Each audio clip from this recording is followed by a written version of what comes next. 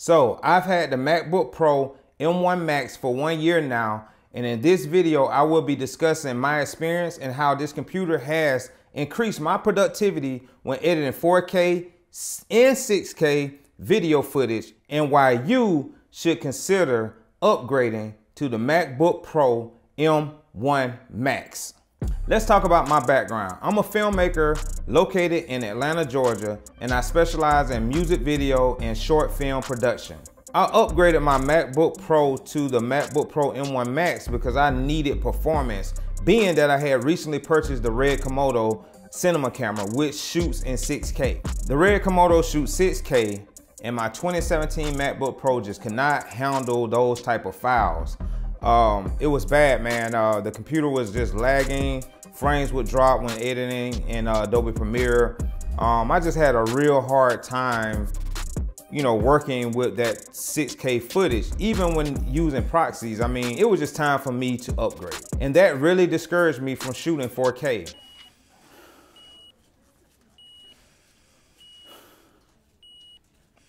Doc. Tell me you gonna make it, Doc. Doc. Tell me you gonna make it. Doc. Uh,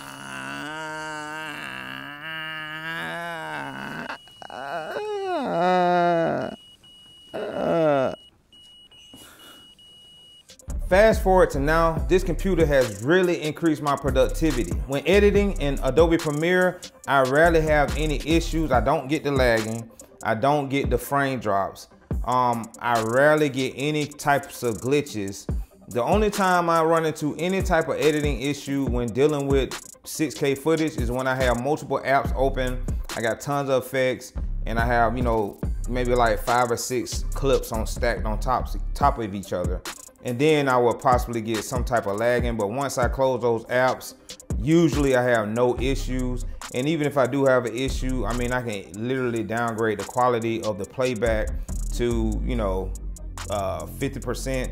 And I have no issue when it comes down to editing. You can literally throw anything at this computer and most projects it can handle with ease. Okay, I have a project pulled up and I wanna demonstrate the power of the MacBook Pro M1 Max.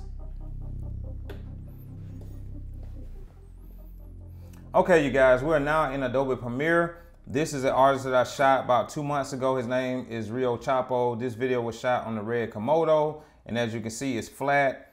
I have not applied any effects, any color, or anything to this clip, and I'm gonna show you guys what it, you know, as far as me being able to scroll through how powerful this MacBook Pro is, and it's almost, it's just incredible. So here we go, you guys.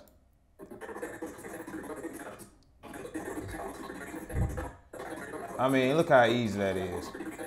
Okay, so I have a a um, conversion adjustment layer here where I converted. I'm about to convert this clip to uh, Rec 709.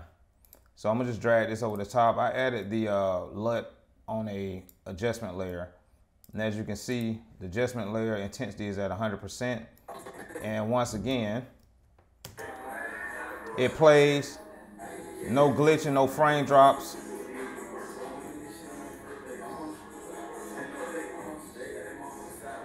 And we can scroll. No issues. That is crazy. Okay so now what I'm gonna do I'm gonna add another adjustment layer. I'm gonna add like a little grade to it just to show you guys what this computer can really do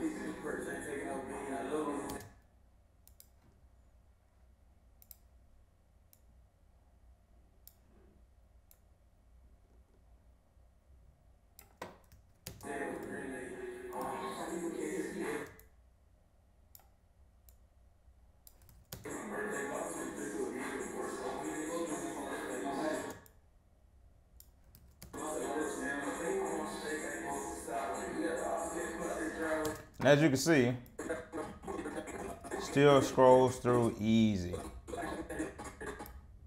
All right, so I'm, what I'm gonna do, I'm gonna double up with this. I'm gonna add a few of these on here just so you can see. I mean, that's with more, that's stacked up. As you can see, it is still no issues. That is crazy. So let me show you guys also too how quickly this section can be rendered out. Render in and out.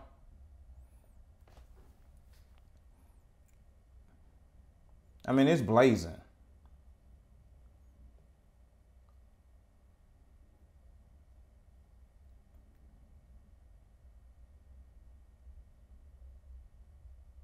And this clip is two minutes and 43 seconds long.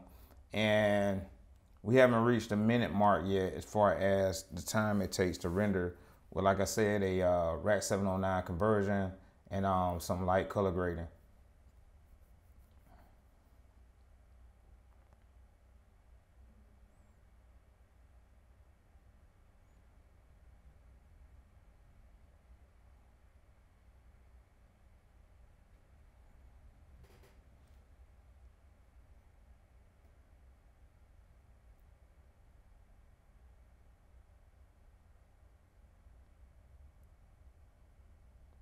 And we are finishing up right now. And that's it, it's done.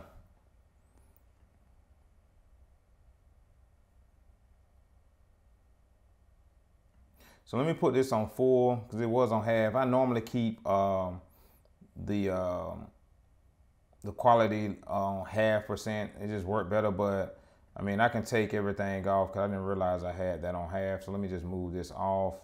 And then as you can see, still no issues. No issues at all. Let's add this back. No issues. Add this on. I'm gonna just make a minor change. No issues.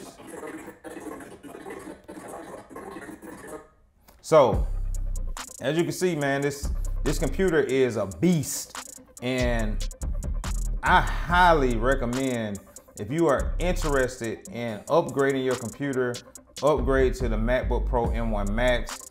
You will not regret it. Overall, I'm extremely impressed with the MacBook Pro M1 Max. It is a top-notch performing computer that is perfect for filmmakers, music creators, uh, engineers, um, anyone that's looking to upgrade their current computer to a more powerful system. This computer is perfect for you and I highly, highly recommend the MacBook Pro M1 Max. Thank you guys for tuning in with me on this one year review of the MacBook Pro M1 Max. And if you have any questions, please leave any questions in the comment section. And don't forget to like, subscribe, and turn on the notification bell. Once again, thank you, and I'll see you guys in the next video.